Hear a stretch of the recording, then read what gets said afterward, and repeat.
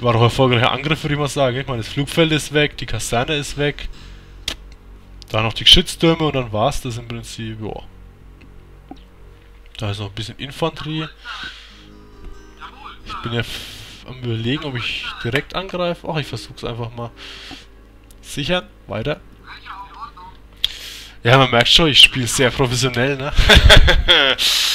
ah, ich freue mich schon auf die letzten Missionen. Die werden so höllenscheiße schwer bei mir werden. Weil ich so unglaublich high skilled spiele. ja. Egal. Auch ein schöner grafischer Bug, den man hier so erzeugen kann? Nee.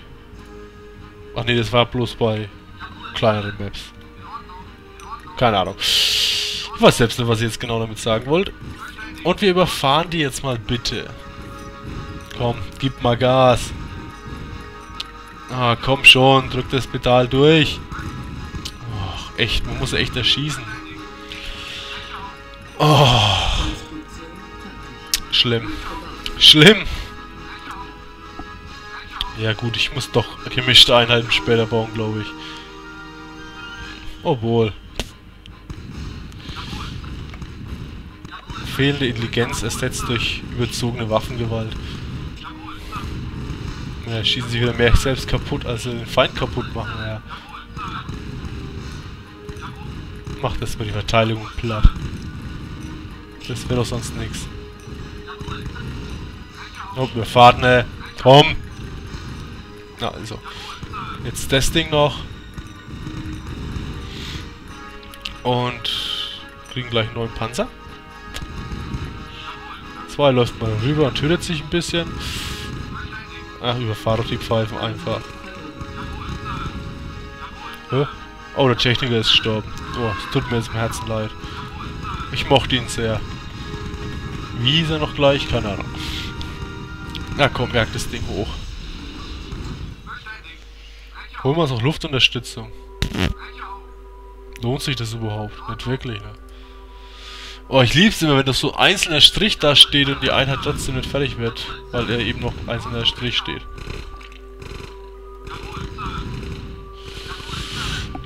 Könnte die nicht einfach überfahren? Da, die fahren teilweise mitten durch und trotzdem zählt es nicht als getötet. Als überfahren. Wie auch immer. Sag mal, der lebt ja immer noch. Verdammt, es ist nur ein einziger und ihr seid sechs Panzer. Wie kann es so lange dauern, dass sechs Panzer verfickt Infanteristen töten? Soll ich Spiel ich ein Minimum an Realismus aufbieten? Echt, nee, nee. Ja, ja. Command Conquer und Realismus, das hat noch nie zusammengepasst. So, ihr seid jetzt Team 2, habe ich beschlossen. Ja, das Ding mal in die Luft, dann kriegen wir Luftunterstützung. Ja. Los geht's. Wie gesagt, ne? Jetzt kriege ich Luftunterstützung, ja. Und ich kriege genau einen Flieger, ja. Weil der Feind ja jetzt noch so viel hat. Oh, aber kann Kraftzeuge schön mitkillen. Bringt mir jetzt zwar gar nichts, aber egal. Oh. Okay. Oh, das hasse ich an Command Conquer. Man kriegt Infanterie so scheiße tot. Wenn der Gegner mit scheinbar irgendwie überhaupt kein Problem hat. Ja, komm. Macht Hackfleisch aus dem Zeug. Zeit die Mission zu beenden.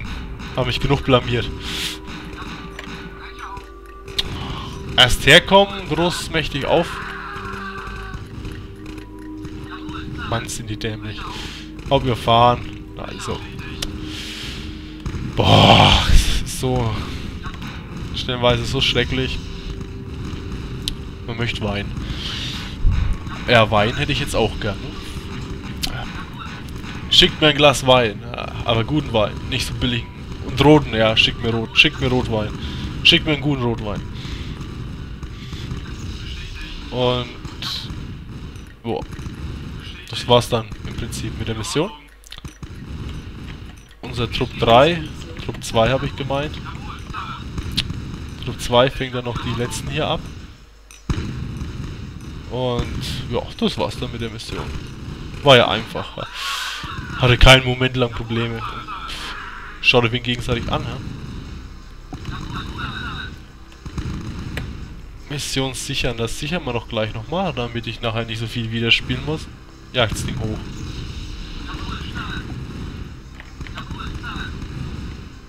So, nochmal sichern. So. Ziel erreicht.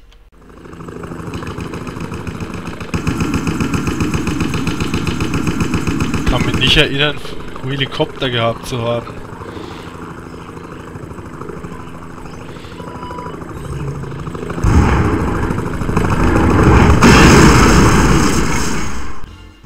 Oder war das der Feind? Ich, lässt sich nicht so wirklich auseinanderhalten. Oh, ich habe 45, 45 Einheiten. War hier überhaupt so viel? Hä?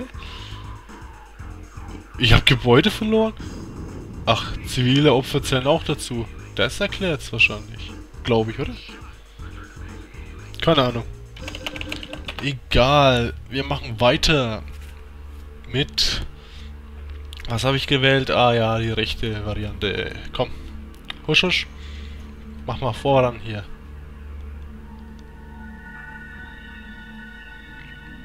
Na komm schon. Na also.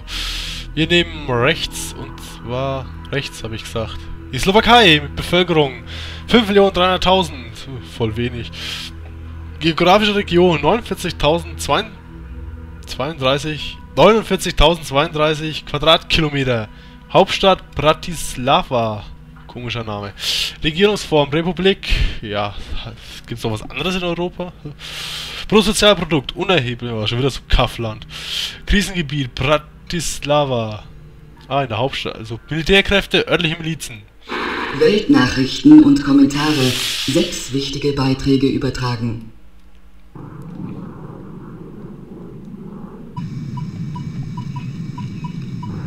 Boden- und Luftkämpfe zwischen Nord und GDI-Droiden eskalierten heute, als Nord eine neue Bodenoffensive gegen die afrikanischen GDI-Truppen startete wohl als Reaktion auf die jüngsten Etatkürzungen bei der GDI.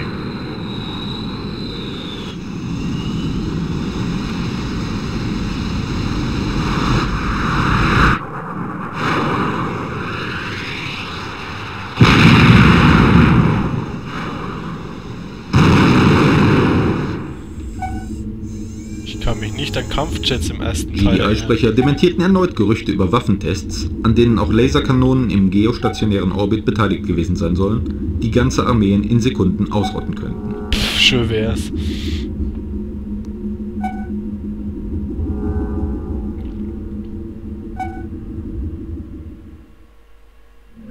Exklusivfotos, die heute aus dem Weltzentrum für Tiberiumforschung herausgeschmuggelt wurden, belegen ernsthafte ökologische Schäden in tiberiumreichen Gebieten. Ob diese ungewöhnlichen Auswirkungen auf pflanzliches Leben in irgendeinem Zusammenhang stehen mit den jüngsten Berichten über Tiberiumvergiftung bei Menschen, das bleibt abzuwarten. Und die Zahl der Toten bis jetzt, die kennt hier noch niemand. Dieses Greg Burdett vor den Ruinen, die GDI-Terroristen übrig gelassen haben vom Santa Bianca Waisenhaus. Nun schauen Sie nicht so überrascht, Commander. Und suchen Sie nicht nach Ihrer Eva. Die kann Ihnen jetzt nicht helfen. Schade. Nun, worüber wollen wir plaudern? Ihre oh so starken GDI-Truppen sind praktisch entmannt und Sie selbst stehen da als Kindermörder. Ist doch schön. Natürlich stimmt das nicht. Aber die Welt nicht? glaubt nur, was die Medien ihr zu glauben anbieten. Und ich bestimme, was die Medien glauben, ganz einfach. Ja, Ihr kleines Schusstier wird wach. Aber da ich jetzt weiß, wo Sie wohnen, Commander, ist es nur noch eine Frage der Zeit. Wäre ich an Ihrer Stelle, würde ich meine letzten Stunden auf Erden damit verbringen, mich zu vergnügen. Natürlich. Sie können stattdessen auch für eine verlorene Sache kämpfen. Aber Sie wissen, es ist vorbei.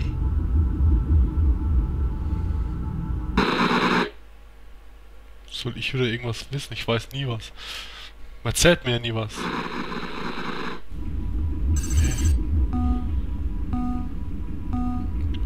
Nee. Flimmer hier. Oh. Feldeinweisung unter Gefechtsbedingungen.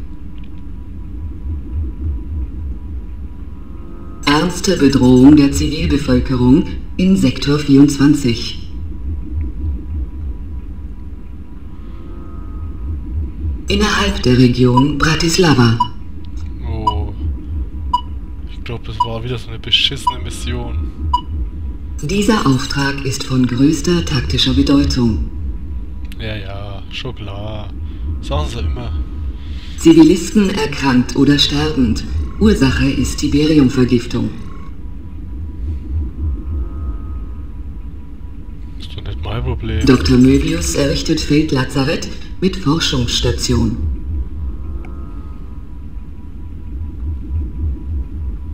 Ihr Auftrag? Beschützen Sie Möbius, sein Team und die Zivilbevölkerung unter allen Umständen. Oh Gott, ich glaube, ich habe die falsche Version ausgewählt. ja? Oder muss man das in beiden machen? Das waren diese beschissene Beschütze irgendwas Missionen hier. Ich hasse diese Dinge.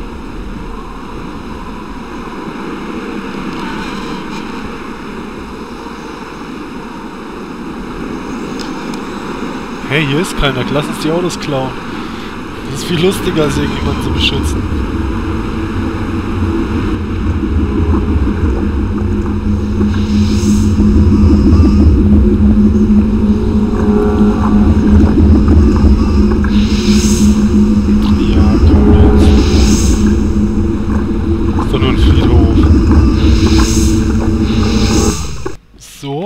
Wir sind hier. Auch immer genau hier ist, das sind wir. Und Auftrag, nochmal genau, also. Hm. Das heißt also, ich muss scheiß Zivilisten doch beschützen. Und wir haben Raketenwerfer. Die auch ziemlich scheiße waren in der PC-Version. Und habe ich jetzt das Richtige gemacht? Oder war das... Fahren vorwärts. Nein, das war noch nicht die Version, wo die Geschütztürme direkt am Anfang stehen. Nein. Hoffe ich zumindest es nicht. Bitte sag mir, dass es die nicht ist. Nee, nee, die kommt erst später. Da muss man jemanden retten, wenn ich mich richtig erinnere. Und wir können die Sansak-Strategie mal ausprobieren. Ja, ich, ich will die unbedingt mal ausprobieren, ob sie funktioniert und so. Wo ist denn Tiberium? Ohne Tiberium brauche ich keine Raffinerie errichten. Äh, hallo? Ich glaube, ich muss gleich nochmal anfangen und...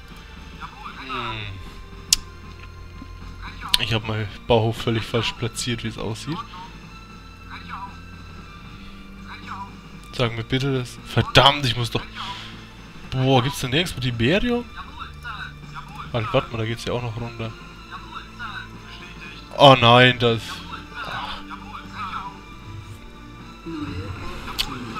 Ich suche wieder ewig weit weg, anstatt direkt mal vor meiner Haustür. So, Artillerie gegen Raketenwaffe, wer gewinnt? Natürlich, Moment, das sind Emerald S, oder? Ne, Stahlhagel. Auch gut. So, mein Erkunde, du fährst jetzt mal da runter. Ach, da gibt's ja Tiberium. Jetzt wollte ich fast schon sagen, in Masse, naja. Ah ja, genau.